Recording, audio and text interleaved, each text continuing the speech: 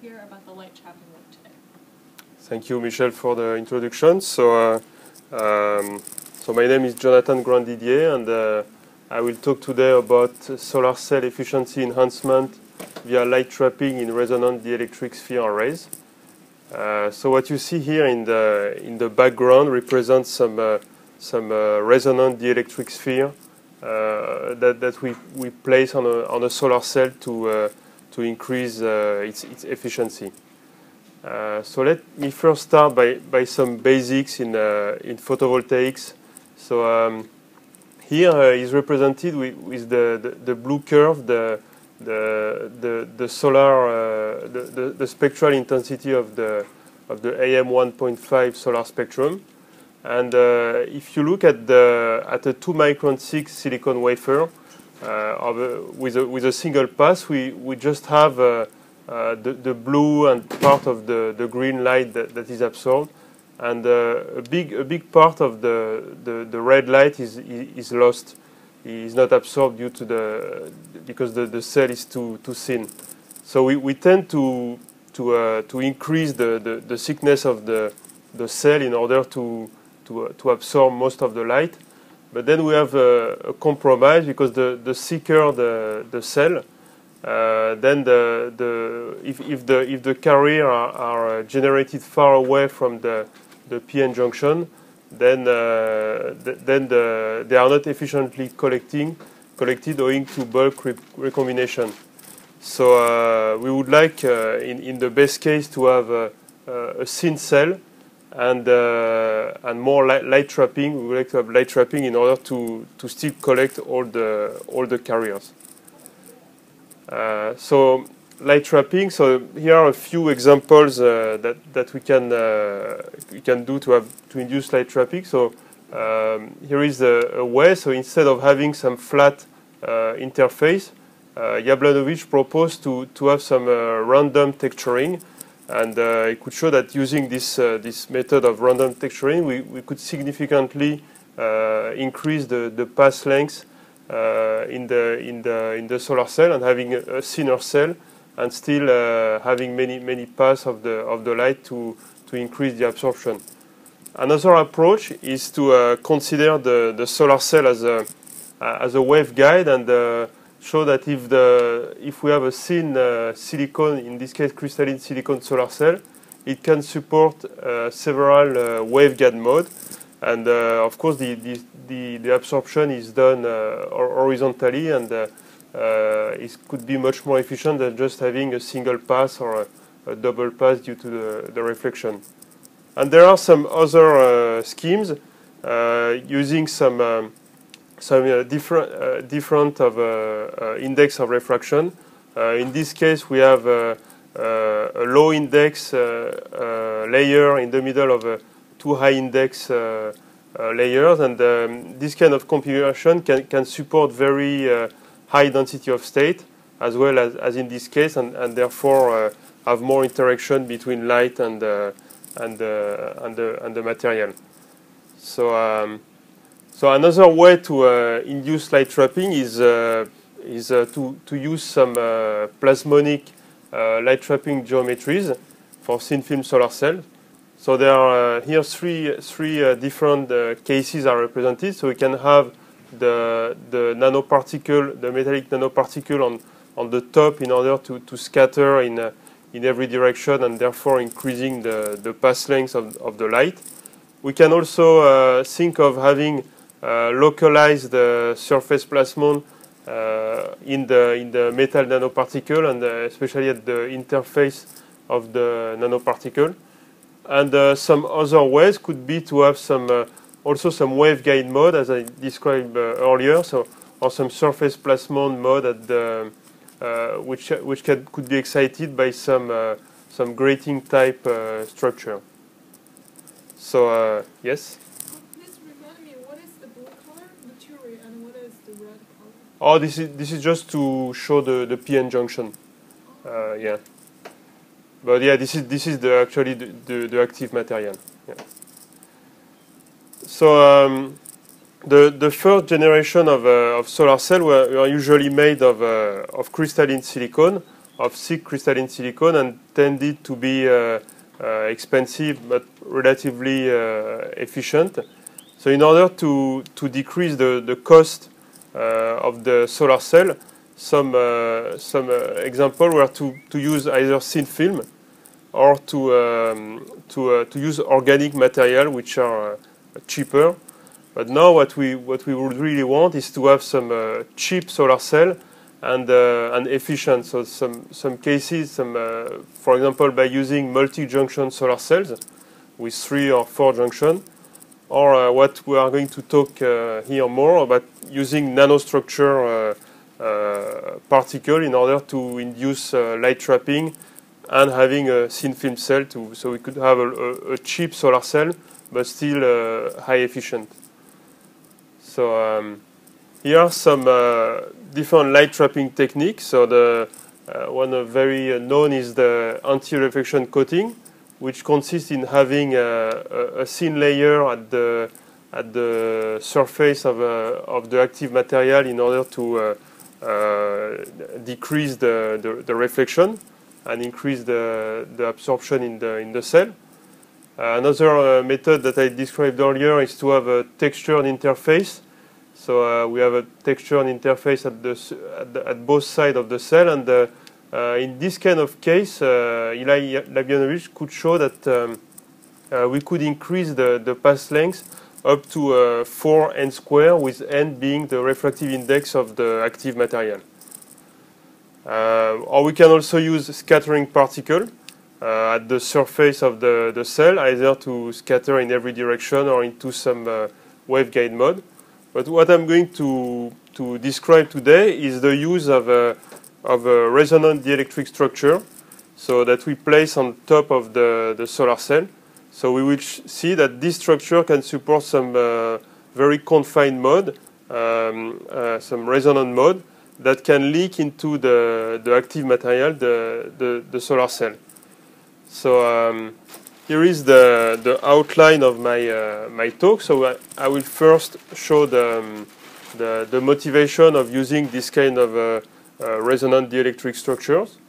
Then uh, I will show some analytical calculation uh, of dielectric sphere in air. So this is, this is an example of uh, analytically calculated eigenmode of a dielectric sphere in air then uh, I will show uh, how to how I did to simulate uh, this kind of structure using a finite difference time domain calculation for both an amorphous silicon solar cell and a gallium arsenide solar cell. And finally, I will uh, show some experimental work that uh, that I did with some uh, colleagues, and some including some angle resolved measurements. So why do we use uh, dielectric nanosphere? So the, one of the reasons is that it's due to the spherical shape, we can expect it to be uh, relatively insensitive to the angle of incidence. Uh, the material used, in this case silica spheres, is, uh, is lossless, so we, we avoid uh, parasitic absorption in the, in the, in the material. Uh, and it's inexpensive, it's made of silica and uh, the absorbing surface remains perfectly flat, which is uh, an advantage to, to, to have some uh, uh material with uh, high electro electrical properties. It can be applied after the, um, the, the, cell fabrication on a, on a finished uh, solar cell. And I will show that we can expect more than 10% enhancement in the, in, the, in the solar cell compared to a, a solar cell which already has uh, an optimized uh, anti-reflection coating. So this is a, a paper uh, by Paul Brown where he, he already put some solar cell on the on a metallic surface and could show some uh, diffractive coupling into the, the planar waveguide mode formed by the, the 2D chain of, uh, of, uh, of spheres.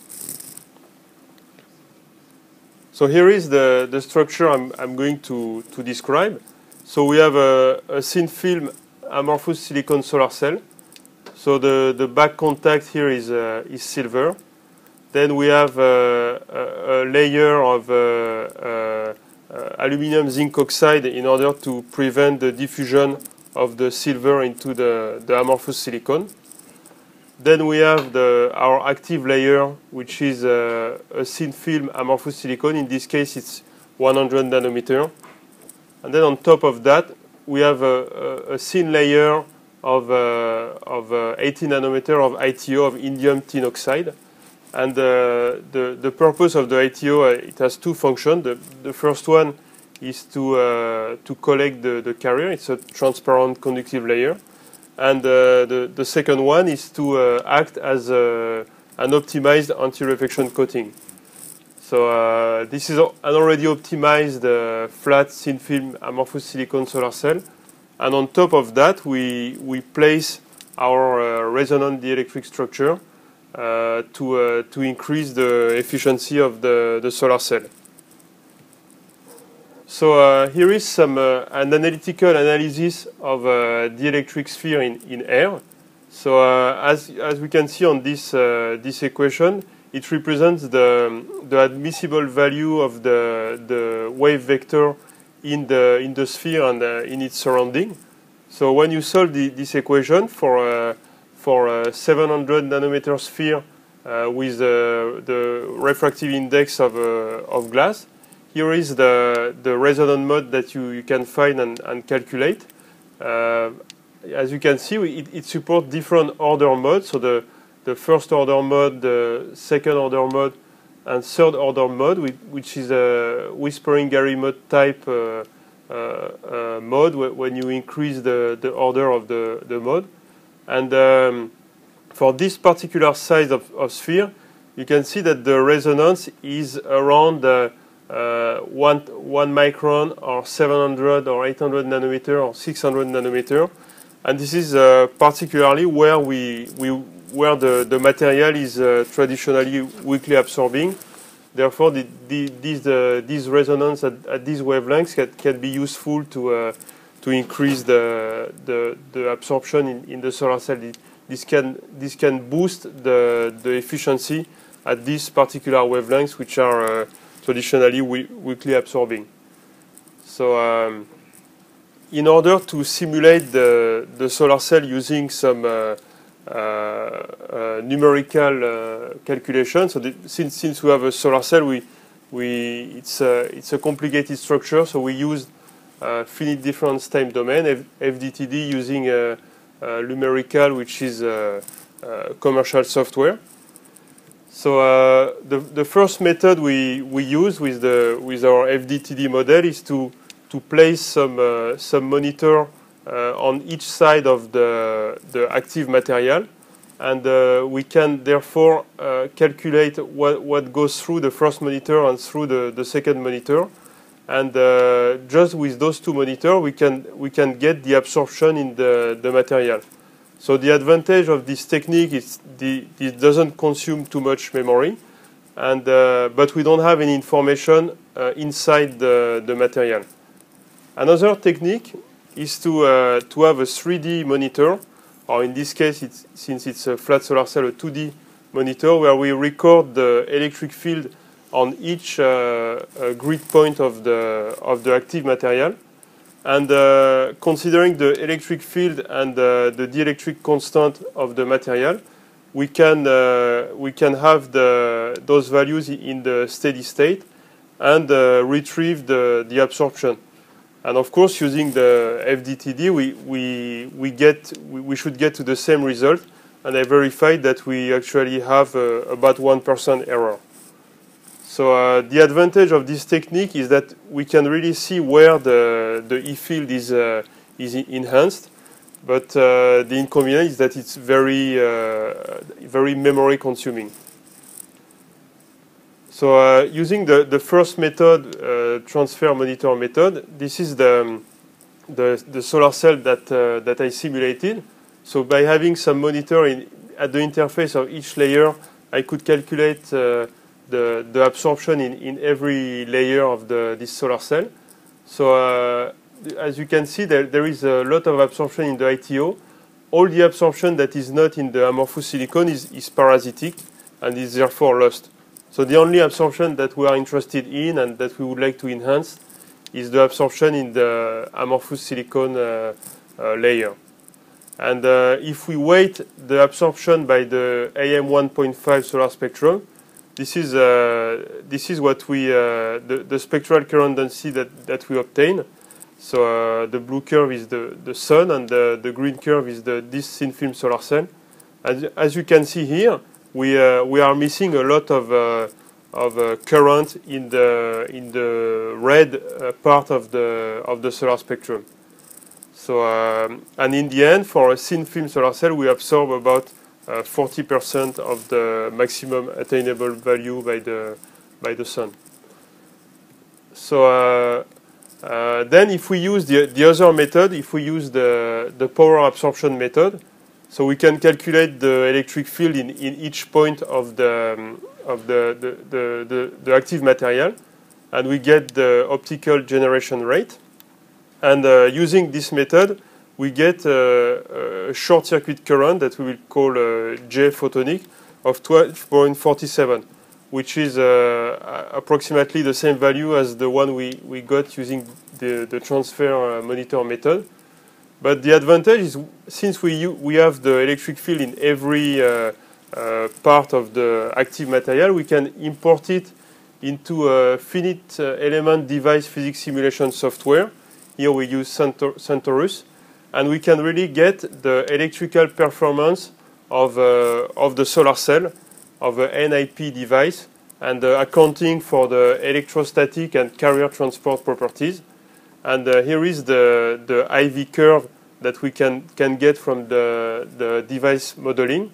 So we have a VOC of uh, about 1 volt and uh, a fill factor of uh, 0.8 and a short circuit current of 9.27. And uh, as you can see, it's uh, shorter than the one we, we calculated because here we are accounting for the imperfect uh, carrier collection in the, in the material. So this is a, a most, a more appropriate model. But of course, it, it, implies to calculate the E-field in every uh, portion of the, the active material. So now when we want to place some, uh, some dielectric sphere on top of the, the solar cell, this, this becomes a, uh, more complicated uh, structure, and uh, this become a real three-dimensional problem. So here is the, the top view of a, of a unit cell.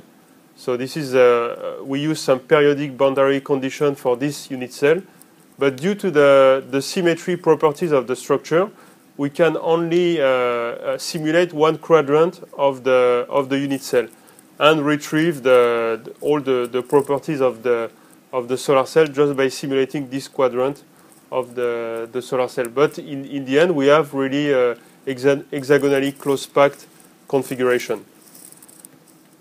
So uh, if we simulate the, um, the, the, this solar cell with the, the electric spheres on top uh, using the AM 1.5 solar spectrum, here is the, the, the, the, graph that we get for the optical uh, generation rate.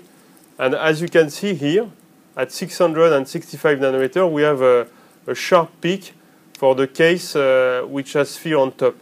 We verify that this peak is independent from the, the polarization, and this, this uh, represents a strong enhancement compared to a, a, flat solar cell. And at this particular uh, wavelength, here is the, the field profile, some, some cross-section of the 3D field profile that, that we obtain. And you can recognize here the, the, the resonant mode that, that we have in the, in the dielectric sphere. So we, have the, the shape of the sphere. And, um, and uh, here is the E field in the, in the active material. And we can see that this uh, enhancement in the active material uh, is, uh, is also, also exists in the, in the, in the, in the, in the silicon. And uh, because we have an enhancement of the, the E-field, we also have, uh, of course, enhancement of the absorption and the, and the calculated short circuit current. And you can see that if I do the, the same uh, calculation for a, a, flat solar cell, the E-field is, is, much lower. So this is the, the same uh, scale bar. So we have a significant enhancement of the E-field uh, in, the, in the solar cell which has this uh, lossless dielectric resonance spheres uh, on top.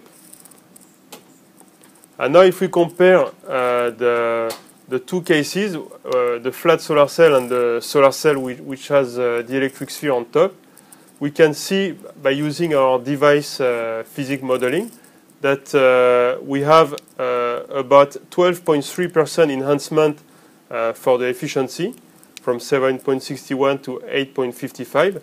As expected, we don't have any uh, uh, modification in the open circuit voltage and uh, the fill factor. And um, if we only use the transfer monitor technique, we, we can see an increase of uh, J photonic that is about the same of the, the enhancement of the efficiency.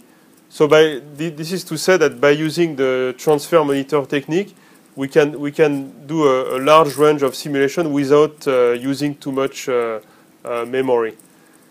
So uh, so we have in this case about 12% enhancement. So uh, here I, I represented the, um, the, the field profile at, at a cross section of the, the, the sphere. And as you can recognize, if I calculate analytically the, the, the resonant mode of a single sphere in air, we have a resonance at 683 nanometer, which is close to the resonance of the, the dielectric sphere on top of the cell. So of course it's not exactly the same because we, the, the, the properties of the sphere is modified by its environment, by the other spheres uh, around and the, the, the, solar cell below. But uh, we, we do have a, a strong resonance at, at, this wavelength. And if you calculate the, the same field uh, of resonance, so I chose arbitrarily 747 nanometer, then the, the spheres are, uh, are uh, look transparent and there is no uh, uh, excitation of, of a resonant mode. So um, this is the, the structure. So we do have a, a strong electric field intensity uh, inside the, the, the, resonance sphere, but we don't have any absorption. But all the absorption, which, which is uh, normalized here, uh, most of the absorption occurs in the amorphous silicon, in the, in the active material, in this case in the, in the amorphous silicon. So, uh, so this is uh, this shows that we, we do enhance the field in the lossless material, but we enhance the absorption in the in the active material. And then if we um, if we have a slight uh, modification of the of the, the, the spacing between the, the spheres, so I, I, I vary the spacing between 600 and, and 700 nanometer, we can see that the, the, the peak is shifting showing that the, the, the resonant mode is, uh, is shifting due to the different characteristics of the structure. And if the sphere are too far away from, from each other, then we, we don't excite anymore the, the resonant mode of the, this photonic crystal type uh, structure and the, uh, the, the, the, shape of the, the, the, the, spectral current density is, is very similar to the one we have uh, for a flat solar cell. So I did some uh, very similar calculation for a gallium arsenide solar cell, a thin film gallium arsenide that already has uh, an optimized double anti-reflection coating. And on top of that, we placed uh, 700 nanometer resonant dielectric uh, nanospheres. And as you can see, the, we have several peaks that, uh, that appear in the weakly absorbing part of the, of the gallium arsenide. Some first order, second order, and third order resonant uh, peaks, and that uh, significantly enhance the the, the, the, the, the field in the sphere, and by the same, uh, con the consequence is that we also enhance the, the, the short circuit current in the, in the solar cell. And we can show in this case of 700 nanometer sphere that we have a global enhancement of 11% uh, over the, the flat solar cell. So uh, I did a parametrical analysis in order to, to see what was the optimized size of, of sphere, and this was indeed uh, 700 nanometer. And what we can see on, on this, this map here, we have this, uh, these resonant peaks which correspond to the, the, the, band structure of the, the, the photonic crystal. And uh, the reason why the, the enhancement is the highest at 700 nanometer is because we, we have a combination of peak that is more beneficial to the, the solar cell in the in the red part of the of the of the spectrum. So 700 nanometer is is the the optimal value for the uh, for the, this configuration of a 100 nanometer gallium arsenide solar cell. And then I, I did uh, a lot of uh, uh simulation considering different type of, of material, for example, polystyrene, uh, TiO2, and uh, especially TiO2 was was interesting because it's since it's a high refractive index, we can consider to embed it in uh, in another dielectric, for example, in uh, in EVA, which is commonly used in the photovoltaic industry. And this is the for all these uh, these cases the the the the current density that that we that we can can see compared to a flat solar cell. And as you can see here, we have uh, about 20% enhancement for uh, a 600 nanometer uh, polystyrene solar cell and uh, about 15% um, for, uh, for uh, SiO2, 700 nanometer SiO2 solar cell. So I'm going to show now some experimental result using silicon dioxide spheres on top of a of an amorphous silicon uh, thin film solar cell. So the way we uh, deposit our, uh, our sphere on the, the solar cell is by using a, a method called the Langmuir blot uh, method, which, which is, uh, has the advantage to be scalable. So the way it works is, um, is the following. This is a schematic, and I will show a, a short movie on the, the next slide.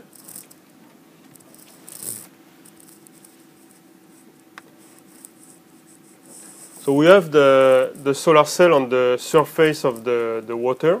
And on, on this surface of the water, we, we have uh, uh, uh, an array of, uh, of uh, silic silicon dioxide uh, spheres that, that are close packed. So when, we, when the, our solar cell is, on the, is inside the trough, then here this is, this is accelerated 50 times. we, we withdraw the solar cell from the, from the trough and at the same time we, uh, we uh, keep the pressure constant uh, at the surface of the, the water, so the pressure is recorded here. And by doing that, by capillarity, we, we can deposit our resonant dielectric sphere on top of, of our solar cell. And as you can see, as the, um, the, the, the, solar cell is, is withdrawn, uh, the, we, we, can observe some uh, different color with which correspond to the, the resonant modes on the, on the surface of the, the solar cell. So this, this video took about uh, 45 minutes, and it, of course it's accelerated here, but after 45 minutes we can have on a centimeter scale uh, uh, sample of several, several solar cells, we can have uh, uh, our deposition of, uh, of nanospheres. So this is what, what we obtain in the end. So we have this, uh, this is an SEM image of the spheres on, on top of the solar cell and an AFM image, atomic force microscopy, and you can see on this large uh, uh, this large SEM image that we have a very scalable process. So uh, the, the, when, when we do a Fourier transform of, of, uh, of this image, we can see that there is actually a, a size distribution which follows uh, a Gaussian. So uh, the, the spheres are, um, are not uh, uniform in size, and we will have to account for that in our, uh, in our comparison between the experiment and, and simulation. So uh, at first we did some uh, some uh, absorption measurement for a crystalline silicon wafer, so a thick crystalline silicon. To, so we, we could assume that until uh, one micron wavelength, uh, all the, the, the, absor- the, the non-reflected light was absorbed in the crystalline silicon. So we deposited the spheres uh, on top using the Langmuir Blodgett method. And this is the, the measured absorption. So we, without, uh, for the flat solar cell, uh, this is the, the absorption, which is in very good agreement with the, the calculation. So we have a very good agreement. And, and when we have the spheres on top, here is, uh, here is the, the increase of, of absorption that we, that you observe. And uh, if we calculate at the median value of the sphere size, we can see that this is similar, but it is not exactly uh, corresponding to our, uh, our uh, experiment. And the reason is that uh, even within this, this short range of, of diameter, the, the, the peak, the, the, the resonant mode shift. And uh, we are, by, by simulating only the median value, we are only simulating this, this size of sphere. So what, what I did is I, I averaged the, um, the all, all this simulation by the, the, the Gaussian distribution, the, the measured Gaussian distribution of the, the spheres. And here is what we, uh, what we obtain by, by accounting for this Gaussian distribution. We get a very, uh, very nice uh, uh qualitative agreement between the, the simulation and the experiment. So if we look at some field profile of the of the of the simulation, we can see that the enhancement we observe is is definitely due to some uh, some resonant modes inside the, the, the spheres. And uh, as we can see on this simulation, on the for the first part of the crystalline silicon, when we have this resonant mode, we also have an increase of uh, of uh, E field in the in the crystalline silicon rather than uh, on a on a flat silicon. So uh, then I did some angle resolve measurement using an, uh, an integrating sphere. So uh, for every wavelength between 400 and, and 1 micron and between 0 and 80 degrees. And uh, as a function of the polarization, uh, we can see that these bands correspond to the, the resonant modes of the dielectric spheres. So in order to have a quantitative value of the of the of, of what we we measure, I considered some uh, some uh, measured data for uh, a hot and sunny day that were measured by NREL, and I, I, weighted it. I, I interpolated um, this data by all the, the number of points that, that I've been using for my measurement, and I verified that at normal incidence I, I had a similar value as the as the interpolated data for the spectral irradiance. And um, and then here is the, the result uh, weighted uh, by my, my, measurement. So as a function of, of, the angle, we can see that at all angle, the, the short circuit current, uh, the, the, the, equivalent short circuit current from the, the absorption is always uh, uh, greater than the, than the one without, uh, without spheres. And this is, as you can see here, if we do the ratio, it's about 10%, 9% average enhancement with a a maximum uh, at 55 degrees. And as you can see, this is very uh, polarization uh, dependent. But, but I, the black curve is the, the average of, of two polarization. So then I, I did this uh, Langmuir Blodgett technique on, on a thin film amorphous silicon solar cell. So uh, here is some uh, SEM image of the, the, the, deposition. And here is a, a cross section so uh, we, we, we have our solar cell with a aluminum back contact, then the thin layer of zinc oxide. Then we have here a 280 nanometer uh, PIN amorphous silicon solar cell. And uh, on top of that, we have uh, a, layer of, uh, of ITO of 70 nanometer. And then we have our uh, 700 nanometer resonant dielectric nanosphere. So we can see that on this large image that the, the process is, is very scalable using our direct deposition with the Langmuir Blodgett technique. So I did some uh, external quantum efficiency measurement, and uh, and I also accounted for the size distribution of the sphere. And uh, as you can see on, on this graph, I got a, a very good agreement between the, the experimental measured value uh, of, the, of the solar cell with spheres on top and the simulated uh, uh, accounting for the, the Gaussian distribution of, of the sphere. And in, in global, I got an enhancement of, uh, of about 7% for, uh, that I did for several uh, solar cells that, that where the, the sphere were deposited from 4.39 to uh, 4.81 percent. So uh, mainly the short circuit current was enhanced as we could expect and as we can see on this uh, this IV curve that, that I uh, did using a, a, solar simulator. And uh, the, the short circuit current was uh, uh, almost the same as well as the, um, the, the, fill factor. So if we look at the, the simulated structure, so in, in the same the same way, we by accounting for the size distribution of the sphere, we can see that the the resonant modes are, are shifting uh, on the depending on the on the wavelength.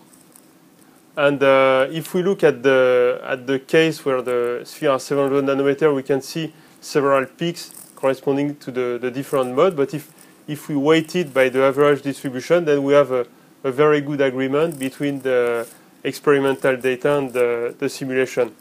And for three different points here, I uh, represented the, the resonant uh, mode of the, of the dielectric spheres on, on top of the, the solar cell. So this is some uh, angle resolved uh, measurement of the external quantum efficiency. So th these are real uh, uh, electrical measurement. So um, I compared here the, the enhancement of the of the EQE uh, experimentally and using uh, simulation. So for this simulation, we used RCWA method, so rigorous coupled wave analysis, because uh, it, it appeared that uh, FDTD was too time consuming and it was much more efficient to use RCWA.